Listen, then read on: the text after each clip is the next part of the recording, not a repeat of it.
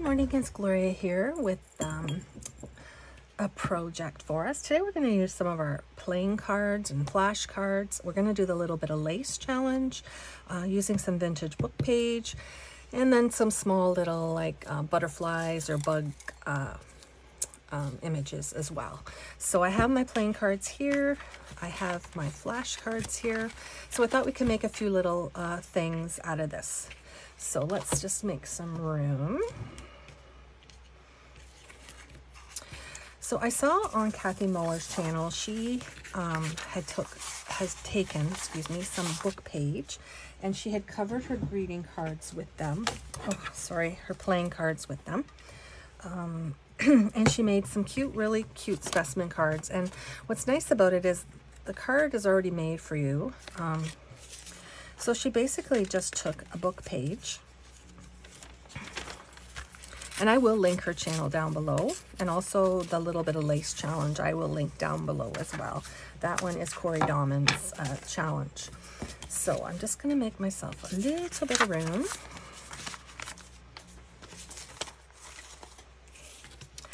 So she took a greeting card. Now I'm going to use art glitter glue just because uh, the card is shiny and I don't know if my glue stick will hold it.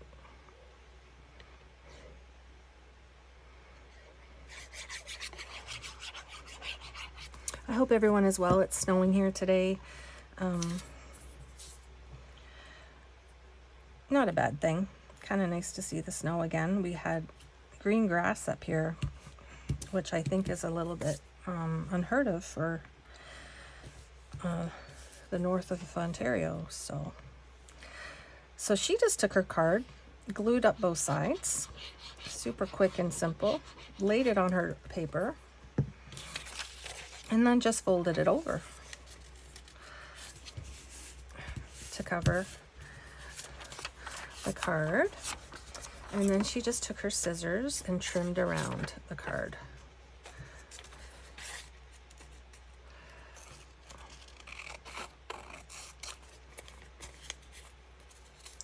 I'm just going to kind of fold around so I can see where I should cut.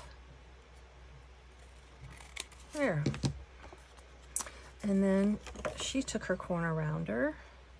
I don't want a very big, oh see, that's where you gotta be careful. I might let the glue dry a little bit first. So let's do the other one. We have some scraps here. So let's grab another one of the same paper and do the exact same thing.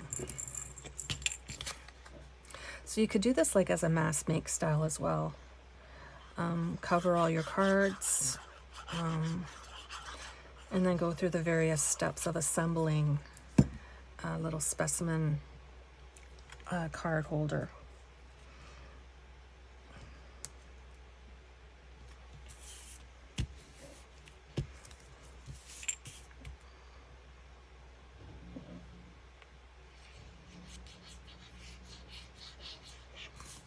I saw her do this and I thought, well, that is so smart. What a cute little, what a good way to use greeting card, or uh, why do I keep saying greeting cards? My goodness. What a good way to use playing cards. And these are not vintage. I, I don't know where I got this one. I don't like the image on the card. Um, it was in my stash, so I thought, well, I'm going to cover them up and use them. Okay, so she takes two. Um, let's do one to start to kind of show. Now I kind of want to, I'm using my one inch punch for this. So I'm going to line it up here. That's what she did. And then she just kind of tried to center it a little bit so you have the card even on both sides as best as possible. And punch.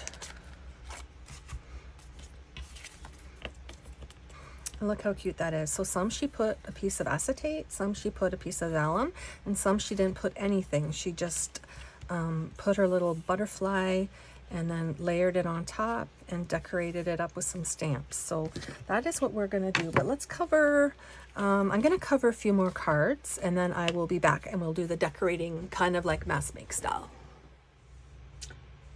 Okay, so I'm back. So I made a few others with the small cards. I used some vintage music paper, um, light, layered them both, punched out a circle. So that will go like that. I used this book page, uh, did the same thing. Uh, this one as well. And this one as well. So like I said, when you're doing this, the easiest way to do it is just put glue, put it down, fold it over, put glue, fold it over, and then cut it out. And then there's absolutely no measuring or anything. So I used a couple flashcards, so I'm gonna use a bigger punch. And it doesn't bother me that that shows through, um, actually. So I'm gonna use a bigger punch for this one because then I can use maybe a bit bigger of a butterfly. And I like this because this is blank here, I could stamp. And like I said, keep all your circles because you can use them. You could layer them up and ink them. And you can make like a, even a, a cool kind of corner tuck in your journal as well. So we'll put those aside. So there we go. So now we'll go on to um, finding an image we would like to put in the circle. Now when she did them, she put acetate behind some. Some she did not. Uh, some she just left the circle and it looked really good too. Uh, some she, um, Catherine put, uh, Kathy put vellum and you could, it was more of a, like a little bit of a cloudier effect. See how nice that looks when you ink it? It kind of really defines the, the circle. So sorry for inking on camera. I was gonna do it off and then I kind of forgot. So I'll kind of speed this part up for you guys so you don't have to watch me ink.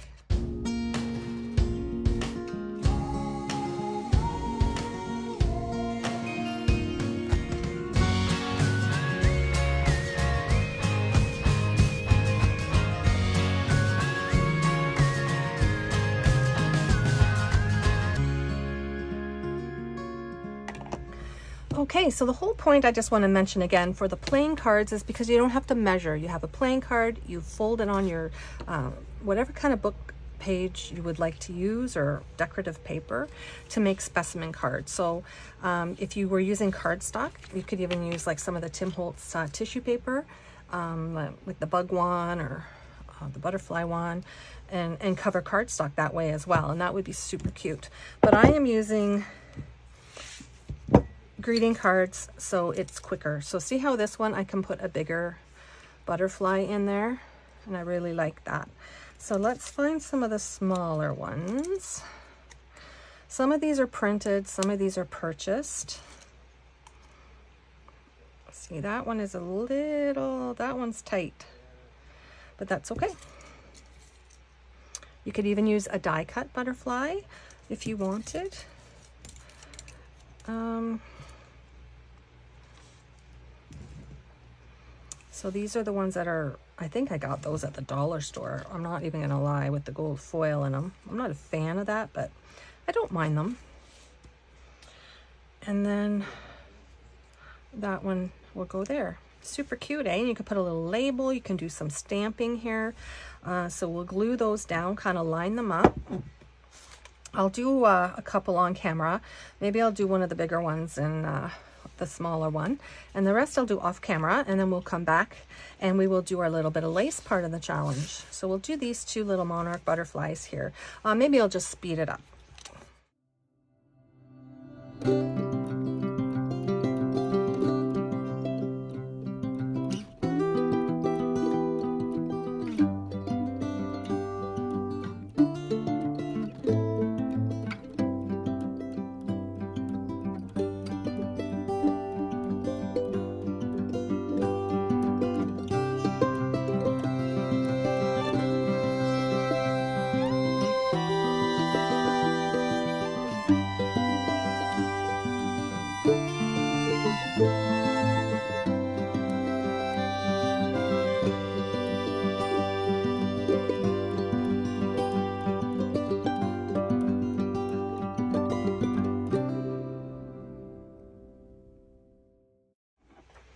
So I have a little piece of acetate here that I want to use on one of them. I kind of like it when they're just open.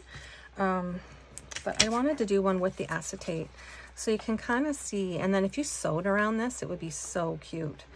Um, I'm not going to sew around this one, but if you put the acetate in, I think, and then sewed around it and around the card and then put it together, I think that would look really sweet. Or actually just do the sewing around here so then it wouldn't come through to the back of your uh, specimen card. Now you could also put blank paper on the back of the specimen card uh, so you could journal on the back of it, but today I'm just using book page. So I'm just gonna cut a piece of acetate a little bit smaller than my circle. And like I said, I'm not doing any measuring on this. Like to me, I love this idea for being a quick piece of ephemera. You're, you're filling your journal um, and you want a quick piece of ephemera. So I'm just gonna glue around the edges with my art glitter glue and then around the circle as well. And I'm just going to put acetate on this bigger one here. So we have one that we've done with the acetate. Now this acetate has been in that uh, little bin of mine over there. So it's not maybe the cleanest piece of acetate in the world. Yeah, I got glue on it. That's great.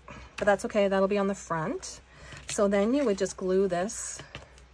Oh my gosh, that's so cute. I'm loving it. Actually, I do really like the acetate uh, it's, it's really cool. So we're going to just glue around our card then, put them together. And because they're cards, they're exactly the same size, so it should be a little bit easier to line them up. Try not to get too close to the circle though, so your glue doesn't seep uh, into your um, window. So just kind of line them up like that. And then if any of the paper is sticking out, you can just come in with your scissors and trim around. Isn't that cute? Now, you don't have to sew around the, the circle if you um, don't want to. You could just sew around the edge of the card as well, which I think I may throw some of these in my sewing pile. And then I would ink up the back. Oh, see, I have a little bit showing there, but that is okay. So we're to finish decorating this one. Oh, and let's put this one together too. So this one I'm just to glue on. I am not going to put any acetate, or should I? Where'd that little piece go? That's not big enough, so we'll just glue this one on.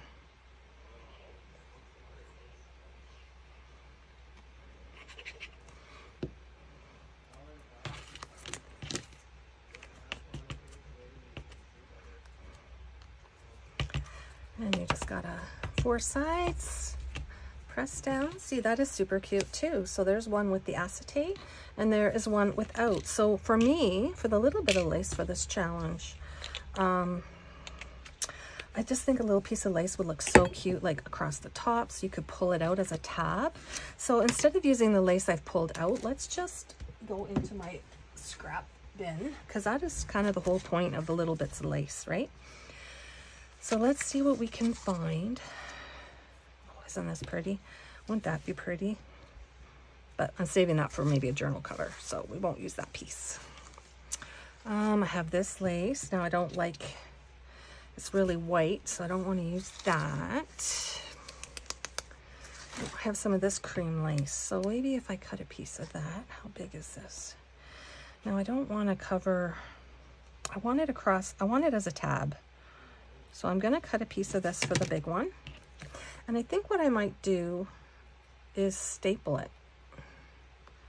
I might staple that on just like that with my rusty staples, if I can get it in there without making a mess. Me and this stapler don't always see eye to eye. It has a, a very short reach, so...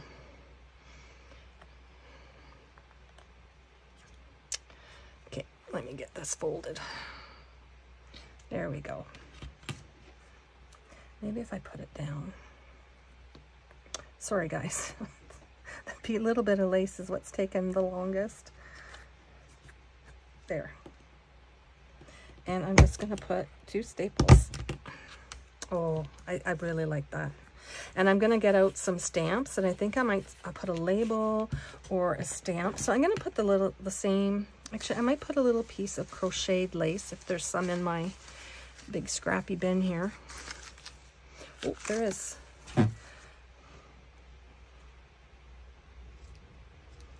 So for this one, I'm to do the same thing. I'm to put it front and back. I hope you can see.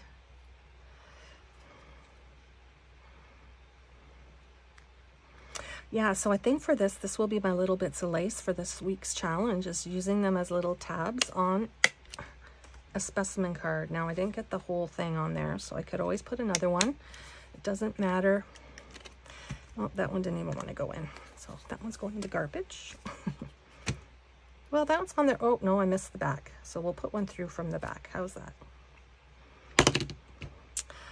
I should put my rusty staples in a bigger stapler. There, there, love that. And I might take a little piece of this lace too and put it across the bottom like that. I really like that. Let's see if my glitter glue is going to work because I left it open.